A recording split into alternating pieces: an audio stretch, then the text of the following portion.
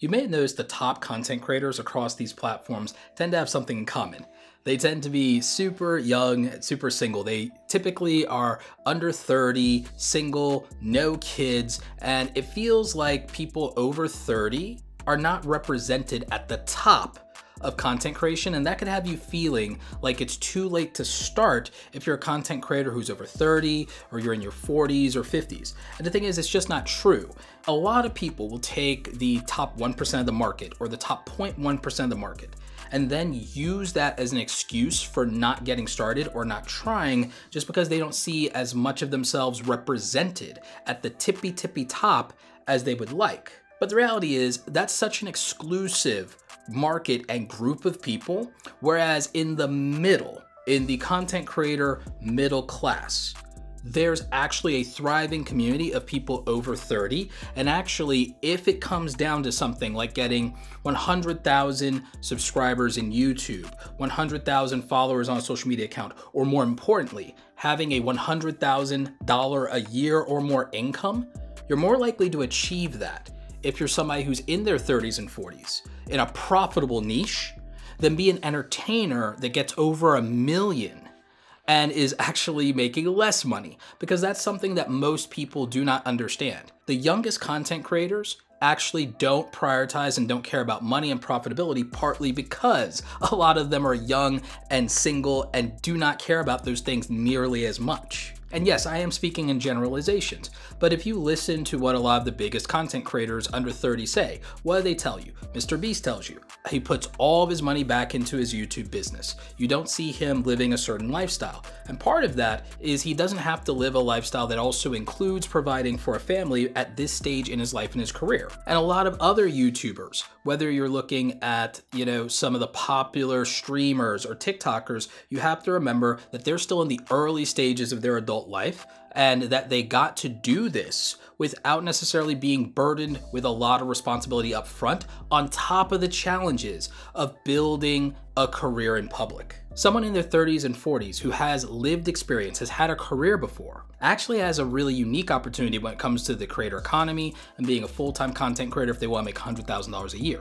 If you're someone in that position and you have either some speciality that you have in your career or you have lived experience that can translate to the people 10 years younger than you, 20 years younger than you, then you can productize yourself and make over $100,000 a year in a much more reasonable way than somebody in their teens or 20s can focus on popularity, pour every single dollar into their content creation, and live off of ramen. Younger content creators have the advantages of passion, time freedom, a lack of responsibility, and also their cultural understanding of the largest market of consumers, people their own age.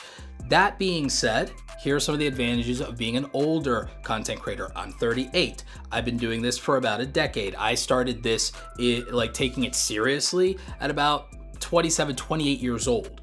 So when I talk about this, I'm speaking from experience myself. The advantages that somebody over 30 has when it comes to being a content creator is that hopefully you're not still trying to find yourself. So you have some level of self awareness and you know who you are. This is going to give you clarity in life and you will be able to focus a lot more and narrow down to basically either the most interesting aspects of what you do or the most profitable aspects of what you do and what you're genuinely good at. As somebody who's older, you also are used to doing things because they need to get done instead of when you feel like it. So there's a chance that you might, just might, have a higher level of discipline as a content creator, and this could provide you some uh, ways to overcome inconsistency based on emotion. Now, where you might have inconsistency is other things in your life going on and that lack of time freedom we talked about due to responsibility. But it also could be the very thing that motivates and drives you as you want time freedom. You've experienced working for somebody else. So the thing is, you may not have the drive and passion and energy of youth but you have an absolute motivation based on just wanting a different lifestyle. The other thing that lived experience provides you is it provides you, in many cases, expertise, specialization, and you already know what you are and what you are not. You know what you are good at and you know what you are not good at. And you know what you can self improve at. And you often know what you don't even want to try to work on because it's a weakness that just doesn't make sense to mitigate more than focusing on your strengths. And this is why in evergreen content niches they're more information based and don't have to be over the top, it's going to be more practical. The other thing is, if you're an older content creator in your 30s and 40s, I hate to break it to you, but the thing is, it's going to be much harder for you to succeed in the entertainment categories of content creation than it is the education portions of content creation. Because let's face it, when you're your youngest and you're your most um, energetic and your most attractive, if you're gonna be an entertainer, that's the time to do it. That's why starting young, taking risk, that's what people do, and that's why the young people on YouTube succeed, young people on TikTok succeed, and they grow the most.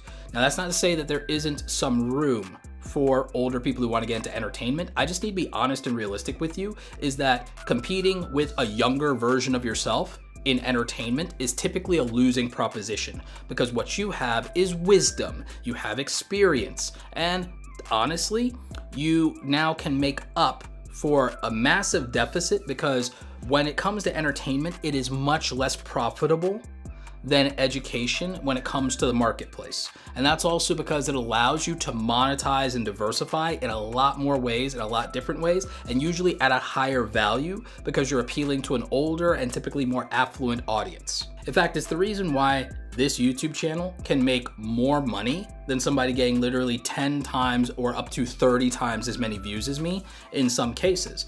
A lot of that has to do with the fact that, well, younger people, they're gonna be into things like TikTok and YouTube Shorts. The monetization on that is about one one hundredth of what is on a regular YouTube video. Long form content disproportionately out or earns short form content, and it's not even close. The number of sponsors that you can get within the realm of education that pay more and will go into long term brand deals consistently. It's just a better paying gig at the end of the day nine times out of 10. There are obvious exceptions, but also being one of those exceptions means being typically in the 1% or 0.1% of the market. And when it comes to education and older content creators, you don't have to be in the 1% or 0.1% of the market to succeed and to make six figures. That is one of the key differences that a lot of people take for granted when they're trying to choose what they want to do because they look and they make the assumption that being popular pays better when actually that's not always the case. You know, famous rapper Timbaland said, I'd rather be paid than popular. And I tend to think the older you get, the truer that is. So no, it's not too late for content creators who are over 30 or over 40. The main thing you need to do is capitalize and consolidate on your strengths. And, you know, again, you have to have some humility and some self awareness and consider that there are arenas where competing with your younger self, a younger you, is a losing proposition.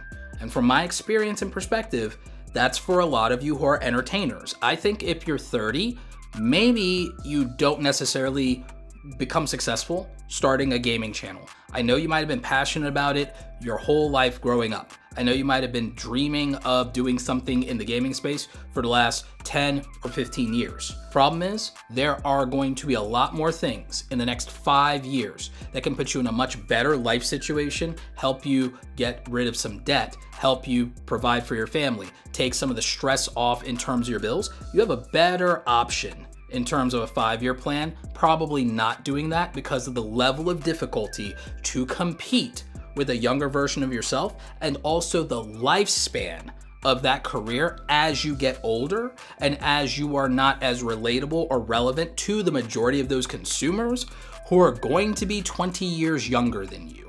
I know that sounds harsh, and you can feel free to be the exception to the rule and prove me wrong and be the 0.01% of people whom are able to pull that off. There are areas of entertainment where age is less of a factor or barrier to entry. I would say the television and movie review niche could be that. I also believe that you can lean into reaction content as a professional. You see doctors and lawyers and many other career professionals that actually can lean into entertainment because they combine their experience and expertise and then deliver it in an entertaining way in a format that matters when it comes to that expertise, aka things like the reaction format. I've seen everything from surgeons reacting to literal uh, anime you know, feats and injuries in series like, you know, Baki on Netflix and things like that and do very, very well. We obviously have people like Dr. Mike, who's been able to get to like 10 million subscribers doing some combination of education and entertainment from the perspective of being a doctor, I would say that leans much more toward the entertainment value than people trying to actually learn about health and wellness and medicine, but they do gain some education out of it. But the priority is being accessible, entertaining, and making people uh, who want to see something very interesting. You're doing something specifically for the purposes of getting attention while leveraging your profession in that situation. Same thing with great channels like Legal Eagle.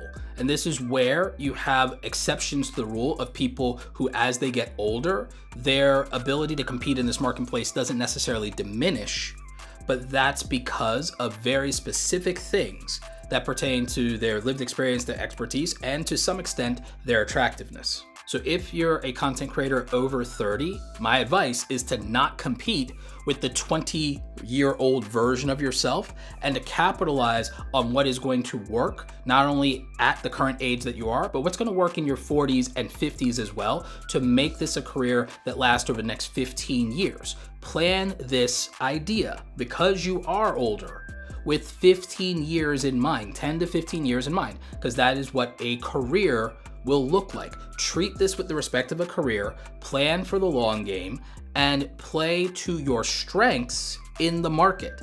And also focus on niches that have more profitability for you that realistically, realistically leads to the lifestyle outcomes that you need and that your family probably needs. If you enjoyed this video, I have an entire playlist that every content creator needs to watch. I'm gonna link to that in the description below.